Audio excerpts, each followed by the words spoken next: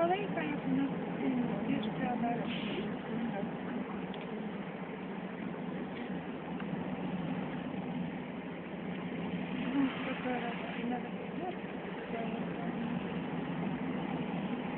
Ale nie czyści.